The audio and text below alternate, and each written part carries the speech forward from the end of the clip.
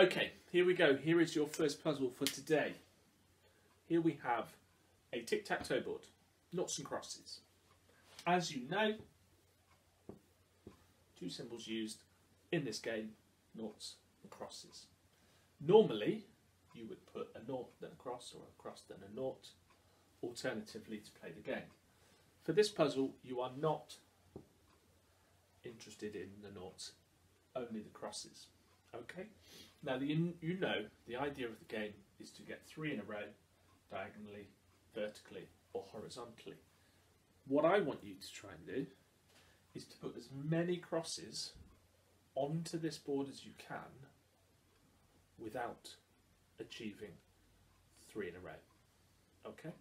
So you're going to put as many crosses, no noughts, just crosses, and I want you to put as many crosses as you possibly can onto the grid without getting three in a row. Okay, good luck. Okay, here we have puzzle two for today. As you can see, I have got the number 100 here. This is going to be your target.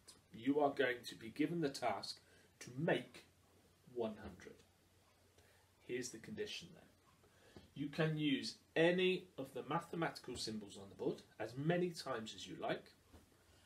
However, you are only allowed use the same number. For example, if I was trying to make 100 with just the number 4, I could do 4 times 4 times 4, add 4, take away 4, as many times as I wanted to, but only using the number 4.